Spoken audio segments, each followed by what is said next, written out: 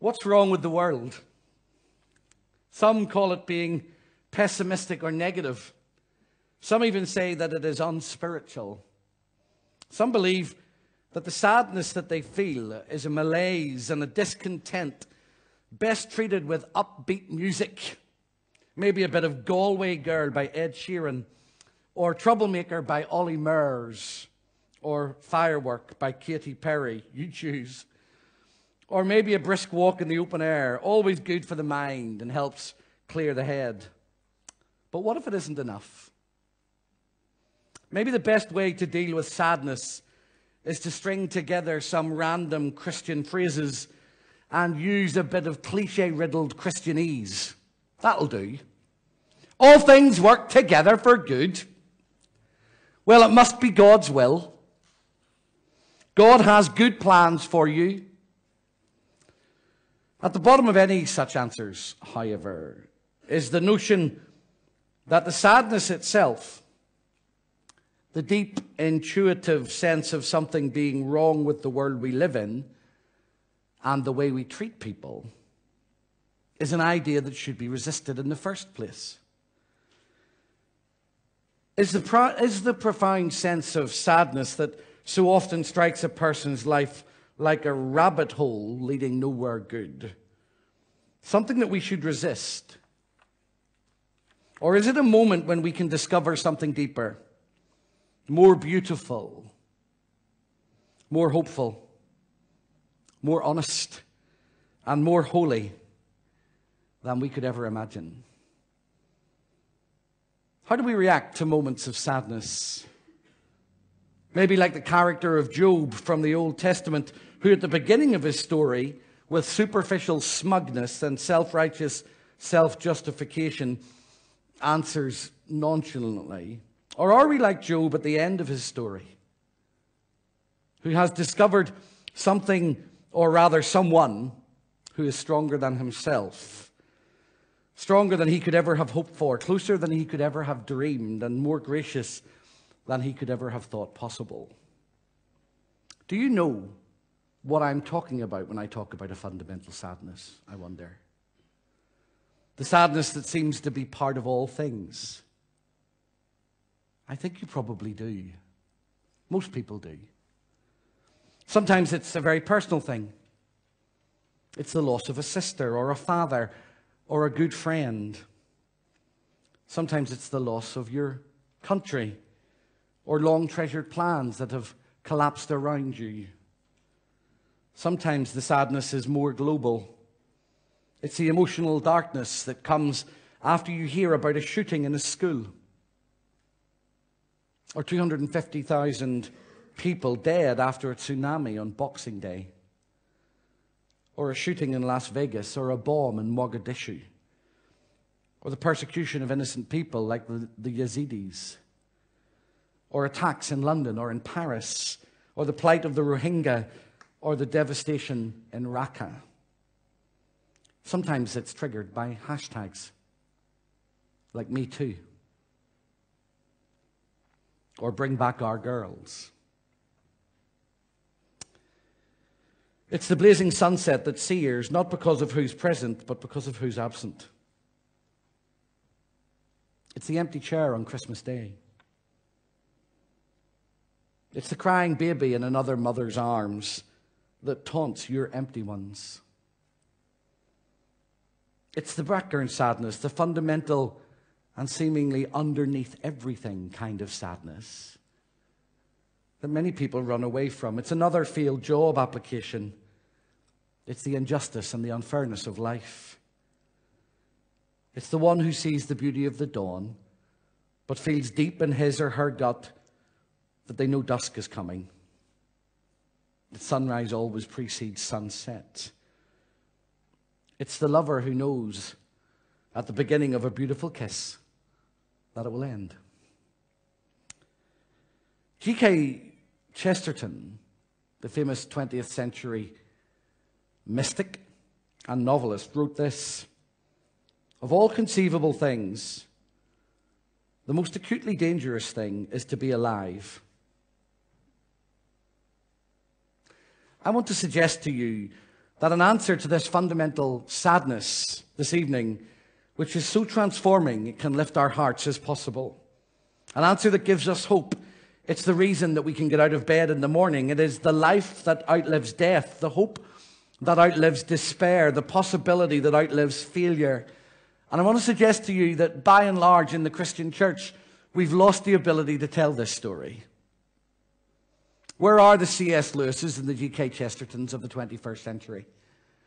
That can speak in ways that can capture an imagination and lift a whole generation and help them see that hope is possible in the midst of despair. You see, the answer that I want to give you this evening is echoed in all the great stories of the world. Marius and Cosette making it through. Um, I should ask, where is he? Richard Butcher to come at this stage, but I'm not going to. And Jean Valjean being seen to be the better man. It's Quasimodo being loved.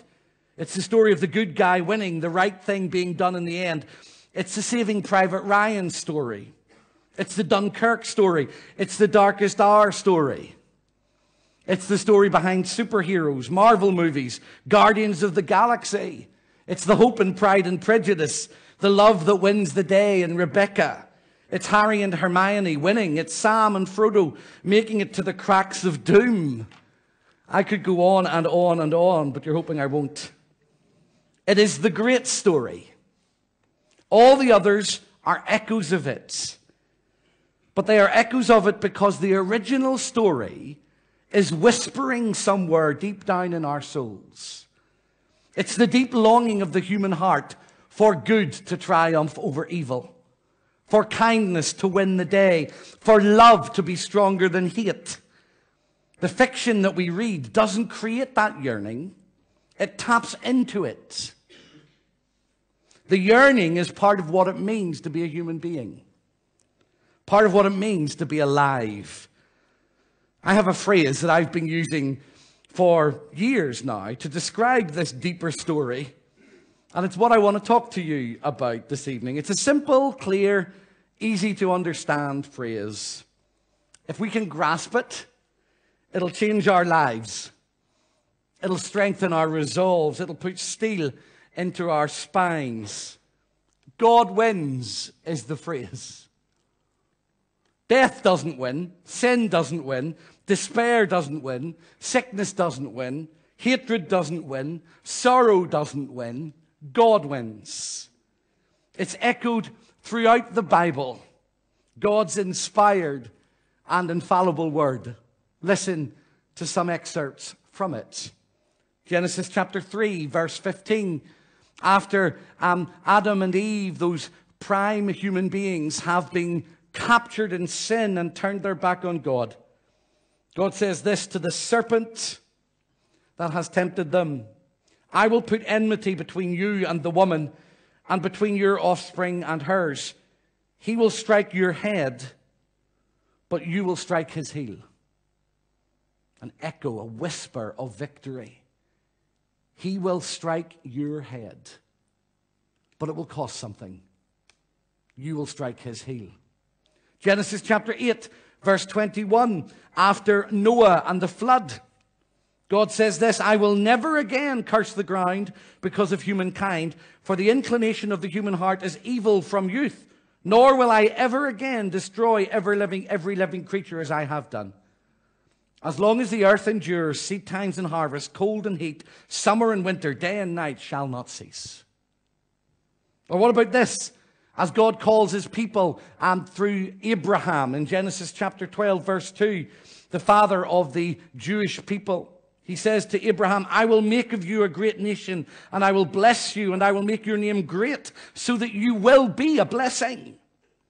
I will bless those who bless you, and the ones who curse you, I will curse, and in you all the families of the earth shall be blessed.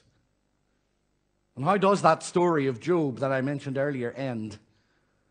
Well, in chapter 42, verse 10 of his story, we read this And the Lord restored the fortunes of Job when he had prayed for his friends. And the Lord gave Job twice as much as he had before. You hear the story echoed through the songs and the laments and the prayers and the cries of the people of Israel. We call it the book of Psalms.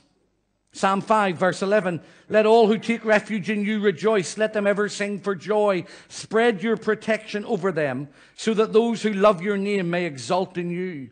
For you bless the righteous, O Lord. You cover them with favor as with a shield. Or perhaps the most beautiful of all from that wonderful hymn book and prayer book, Psalm 46. God is our refuge and strength, a very present help in trouble.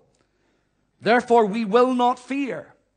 Though the earth should change, though the mountains shake in the heart of the sea, though its waters roar and foam, though the mountains tremble with its tumult, there is a river whose streams make glad the city of God, the holy habitation of the Most High. God is in the midst of the city, it shall not be moved. God will help it when the morning dawns. The nations are in uproar, the kingdoms totter. He utters his voice, the earth melts. The Lord of hosts is with us. The God of Jacob is our strength. And on the psalm goes. The song of victory, this God wins refrain, is heard in the repeated cry of the people of Israel and the church through the years and the people of heaven. God is good, and his mercies endure forever. It's the power of God at work in the world, setting things right, taking the brokenness of broken people and the fragments of a fragmented world and putting them right. But how does he do it? Where is the root of this great story? In the resurrection of Jesus Christ. In his victory over sin and death and hell. That's why I'm a Christian. Because Jesus Christ died on a cross for my sin. He was buried and dead and lifeless. And three days later, he rose from the dead, and a revolution of hope and life began that no one has been able to stop. That's why Josh began this service this evening. Thank you, Josh, with a song about resurrection. Jesus is not still in a tomb. Christians don't believe that we worship a God who died and stayed dead. We believe we worship a God who died, was buried, and rose again. And in rising again, let the great story of hope and life and forgiveness and mercy and grace be unleashed by the power of God for all who will receive it. The Apostle Paul was convinced of it. Listen to what he wrote to a church in Corinth in 1 Corinthians chapter 15. And listen carefully to the words from verse 20 on. In Christ, if in fact Christ, if in fact Christ has been raised from the dead, then he is the firstfruits of those who have died. For since death came through a human being, the resurrection of the dead has also come through a human being. For as all die in Adam, listen, so all will be made alive in Christ. But each in his own order Christ the firstfruits, then at his coming, those who belong to Christ. Then comes the end, when he hands over the kingdom of God to the Father after he has destroyed every ruler and every authority and power. For he must reign until he has put all his enemies under his feet. The last enemy to be destroyed is death. For God has put all things in subjection under his feet. But when it says all things are put in subjection, it is plain that this does not include the one who put all things in subjection under him. When all things are subjected to him, then the Son himself will also be subjected to the one who put all things in subjection under him, so that God may be all in all. Abbreviated version God wins. In Christ, he wins in the created order. In Christ, he wins in the lives of believers. He wins over principalities and powers and spiritual forces and wickedness and rulers in high places. No one can defeat him. No one is stronger than him. No one is cleverer than him. No one is wiser than him. No one sees round the corner like him. God wins. But all of this requires something of you and of me. It requires that we understand the real story and not only the half baked version of life that our culture tries to peddle us. You live in a story where it's all wrong. You're surrounded in a culture in Europe in a story that says you can make yourself happy. The more stuff you have, the happier you will be. The better position you have, the happier you will be. The more you satisfy your desires, the happier you will be. All of it's a lie. The more you satisfy your desires, the more your desires will consume you until there's nothing left of you. You can't satisfy desire. It promises a moment of fulfillment, and then it takes more and more and more and more until there's nothing left. And you're left a human shell. And it doesn't matter whether that desire is sexual or financial or alcohol or drugs or power or position or prestige or respectability. It's a liar. Here in South Buckinghamshire, there are so many things that can grab our attention like anywhere else in this country. We're not any worse or any better than anywhere else. There might be slightly different labels to the things that grab our attention. We think our children have to be educated in private schools. We think we have to send them to 15 or 16 different clubs. They have to speak all these different languages. They all have to go to university. They all have to get a good degree. They all have to be doctors or mechanics or lawyers. They all have to be movers and shakers. But it's a lie. It's a cultural lie that will consume you until there's nothing left. If we want the hope of the God wins story, then we have to resi- resist and reject the lie of our culture. And what about churches? A good band will make us happy. Great lights will make us happy. A good pastor will make us happy. A brilliant building with three H's at the beginning, that will make us happy.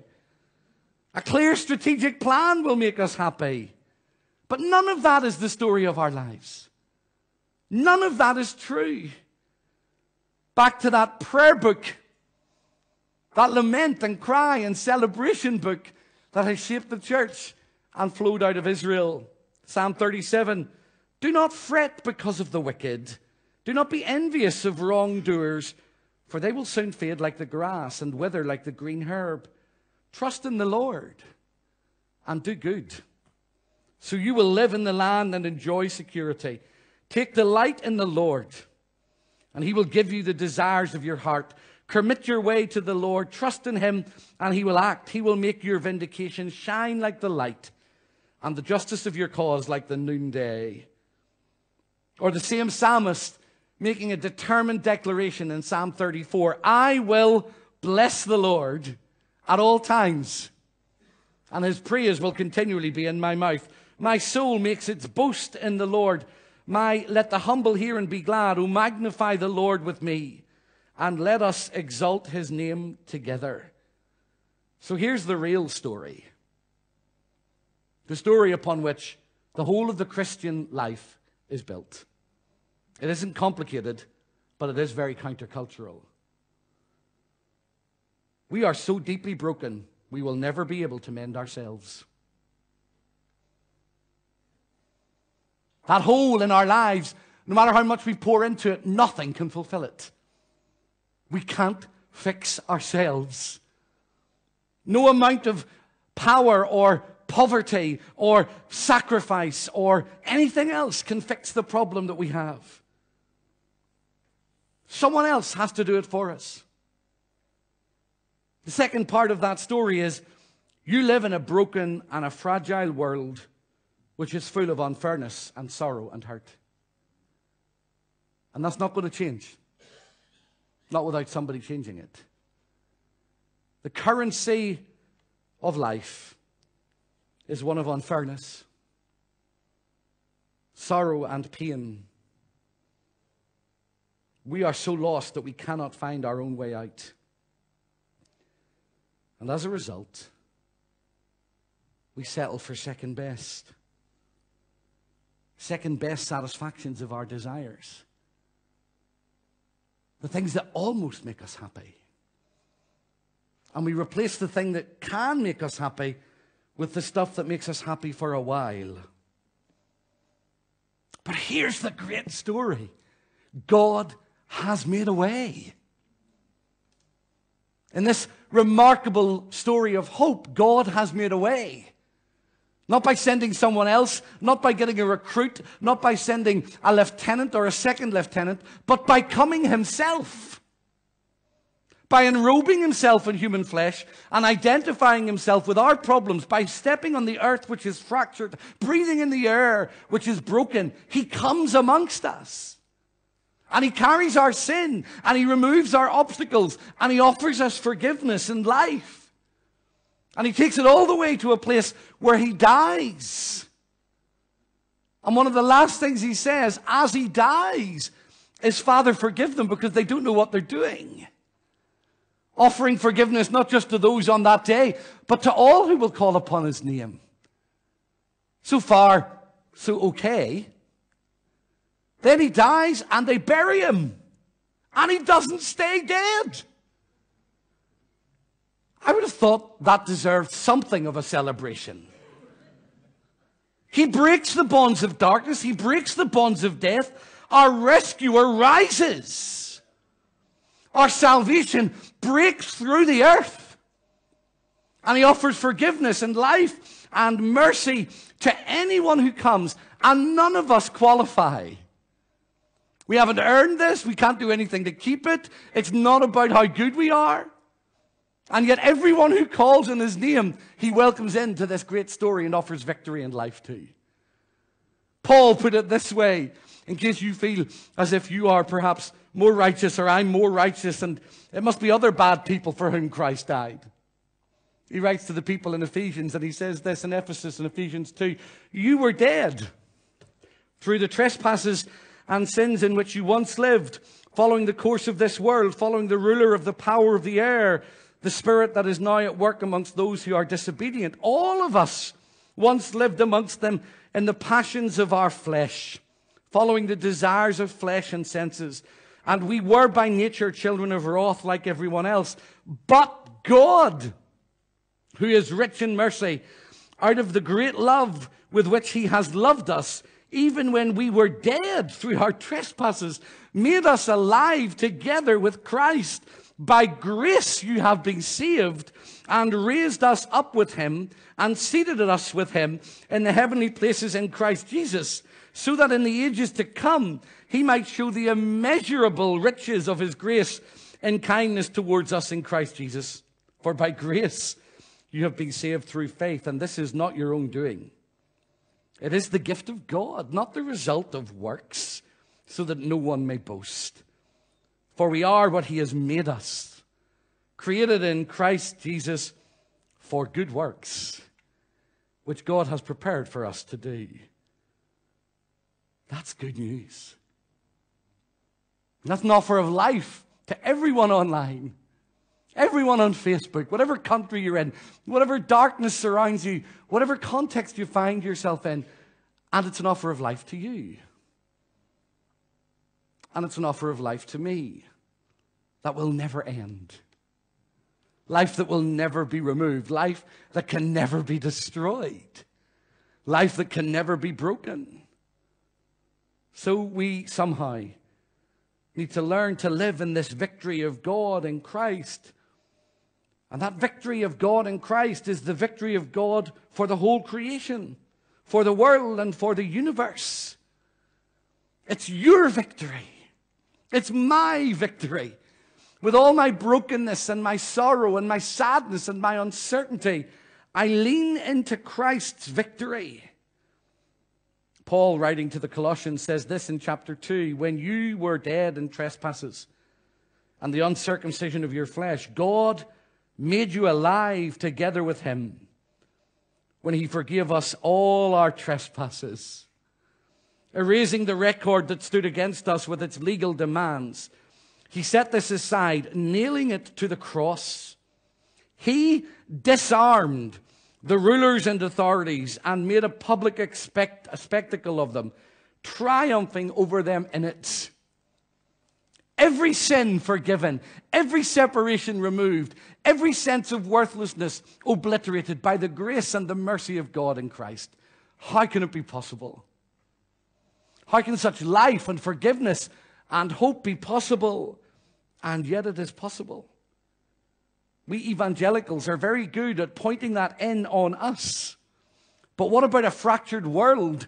This saves and redeems the creation. This transforms the very ground we walk on. The very globe that we live on is transformed by what Christ has done. Is that a big enough vision for you? Is it a big enough imagination that can capture that God is transforming the universe through Jesus Christ and what he has done? We need to learn to reject the wrong story and live in the right one. Anybody read C.S. Lewis? Wave at me if you've liked or read C.S. Lewis. Some of you have. We read it to our children. I love him. His books, the Narnia Chronicles, tell the story of an ordinary family who find their way through a wardrobe into a very odd world called Narnia, where things are strange and a battle is raging for the heart of the land between a white witch who knows deep magic and those who are trying to resist her. And it's always winter. And they're losing the battle. The goodies are losing the battle. There's a great lion in the story called Aslan, who is a picture of Jesus Christ, who dies on the, the table of sadness, giving up his life to, to rescue the people of Narnia. I want to read a little clip from The Lion, the Witch, and the Wardrobe to you. What C.S. Lewis describes in his Chronicles as deep magic, I want to talk to you about as beautiful grace. Here's what beautiful grace does it means that though the witch knew the deep magic, there is a deeper magic that she did not know. Her knowledge goes back only to the dawn of time. But if she could have looked a little further back into the stillness and the darkness before time dawned, she would have read there a different incantation. She would have known that when a willing victim who had committed no treachery was killed in a traitor's stead, the table would crack and death itself would start working backwards. A willing victim who had committed no treachery himself was willing to lay down his life. Then death would crack. The table would crack and death would work backwards. The willing victim for us was Jesus Christ. The table of sadness was the cross where hell and Satan and all that was evil threw everything they could at him. And in their glorious moment of darkness, they thought they had won. But in their moment of apparent victory, it was the victory of God that was breaking through, which is what the apostle Paul refers to in Colossians 2:15, which I just read to you. At the very moment when hell and darkness and sin and wickedness and evil was shouting, We killed him. God was crying, It is finished. I have broken the table. Death itself is about to be defeated, and life is about to erupt in the earth. We have settled for the wrong things, G.K. Chesterton once said. Instead, we need to allow the divine discontent that whispers in our hearts and in our souls to rise up until the only answer that will satisfy it is Jesus Christ. We have come to the wrong star, Chesterton said in Orthodoxy. This is what makes life at once so splendid and so strange. The true happiness is that we don't fit. We come from somewhere else. We have lost our way. That's the real story. Not suppressing this fundamental sadness, not pushing it out of the way, but facing it and realizing that someone has conquered it and that someone is Jesus Christ. Life has come to us, both splendid and change, but life. Listen to the wise men who came looking for baby Jesus from the Gospel of Matthew. The child was probably around two years old, and we read in chapter 2 in the time of King Herod, after Jesus was born in Bethlehem of Judea, wise men from the east came to Jerusalem asking, Where is the child who has been born King of the Jews? For we observed his star at its rising and have come to pay homage to him. He's our true north. He's our lasting star. He is our eternal light. He is our forgiver and our hope giver and our life giver and our joy. So I invite you with me to learn to live beyond the last word of our time and our culture. Jesus knew that culture would kill him. He was murdered by the crowds in Jerusalem. But that wasn't the last word. Jerusalem was destroyed by the crowds from Rome. But that wasn't the last word. Because empires always destroy empires. There is only one kingdom that can never be destroyed, and it's the kingdom that you enter when you become a Christian. According to Revelation chapter 11, verse 15, when God puts all things right, the kingdom of the world will become the kingdom of our Lord and of his Messiah, and he will reign forever and ever and ever. Christ is the first word and the last word. So, brothers and sisters, though the sadness might feel fundamental, the grace of God is more powerful, more present, and more life giving. And it is there, it is here in this room, waiting and pulsing, wanting to absorb our sadness, to bear it, to transform it, and then to turn it into something. But here's the deal very countercultural for charismatics. We never get to avoid pain we see it transformed by the grace of God until the God whom we serve, in the words of the promise of Jesus to John in the book of Revelation, in chapter 21, verse 5, will make all things new. Hmm, all things new. The deeper grace of God persists beyond the trappings of our daily lives. Only the work of God in Christ makes us able to make sense of the deeper sadness. Only God can transform it. Only through Him can we refuse to be overcome by it. His grace is older than death and wiser than time. God knows that there is more. And He says, Will you trust me for more? We do not live at the table of sadness with an eternal winter and a dead lion. We live at an empty cross with the spring of hope and a living Savior. That is why He came to bring resurrection life. From the beginning of his ministry, announced in Luke chapter 4, I have been anointed by the Spirit of God to preach good news to the poor, to release the captive, to declare the year of the Lord's favor till his resurrection. That's why he came. This morning, I finished a series on the book of Revelation. It was a very brief series, and we were looking at chapter 21 and chapter 22 of Revelation this morning under the title, The God Who Makes All Things New. And I noticed that in chapter 21 and chapter 22 of Revelation, as God makes all things new, there are 13 no mores. I mentioned them to the church this morning. No more darkness, no more sin, no more sorrow, no more tears, no more pain, no more temple, no more moon, no more sun.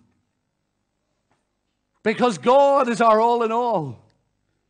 I tell you, who wins in this mammoth life that we live? God wins. God won in the dirt of Eden, God won in the dirt of Jerusalem, and God wins in the dirt of our daily lives. Amidst the hassle and the mistakes and the questions and the sorrows and the doubts and the despairs, amidst the goodbyes and the hellos, at the graveside, at the hospital, on the operating theater, when you're facing a bank manager, God wins. So may He give you hope tonight. You're not losing God when you lose me. You're losing me. And you might think that's a great loss, but you will get over it. In six months, or eight months, or 12 months, or 18 months, God may bring you, He probably will bring you a pastor with very different gifts and skills to me. But He still wins. He's the one that's at the center of this church and at the center of the church I'm going to and at the center of His church around the world. And He wins. What are you facing tonight? What are you afraid of? What is stealing your joy? What is consuming your heart? Remember this God wins, but not automatically. Not for all of us. He has won for the entire world and asks you, Do you believe it? And will you enter into that victory? If I could, I would pick you up and carry you into the kingdom of God. But I'm not strong enough to do that. You're a dead weight. You must make that decision for yourself. So, what will define you as you leave this meeting tonight? Will you let God, the risen, resurrected, life giving, joy giving, sin destroying God reign in your life? Will you believe the better story? Or will you believe the one that is most obvious to you? That promises everything and delivers nothing. That's your choice.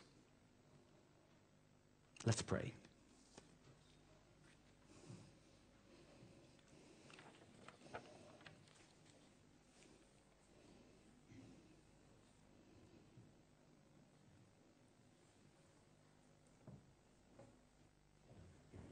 I want to ask a very simple question. First of all, would you give each other dignity by, um, respect one another's dignity by bowing your heads and closing your eyes, please? Maybe you've lived culture's story, believing it's cheap promises. And tonight, you need to step into the real story about the grace and the mercy and the forgiveness of God. Maybe you've done your dalliance, you've meddled with it all, and you're sitting here, a Christian, but on the inside you just feel hollow. You're stuck at a graveside because you lost someone or somebody did something to you or you did something to someone else and you don't know how to get out.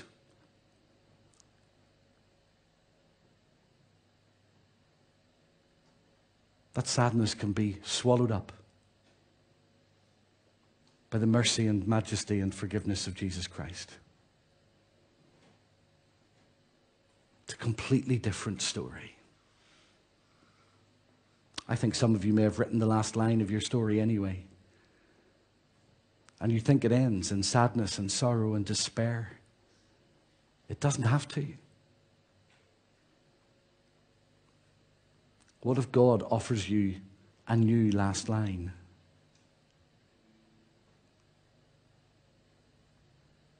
One of peace and of hope and of forgiveness and of life. Would you take it?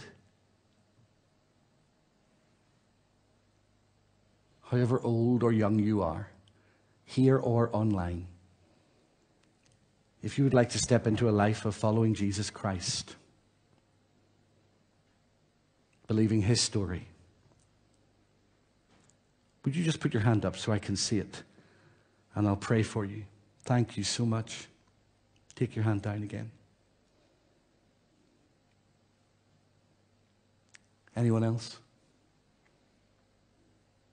Thank you. Is there anyone else?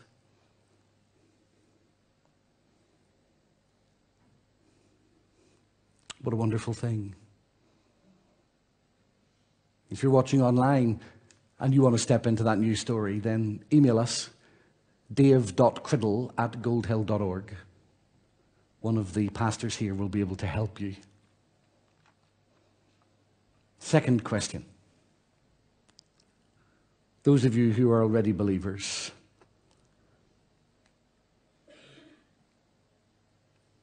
has the culture story had too much of an influence on you?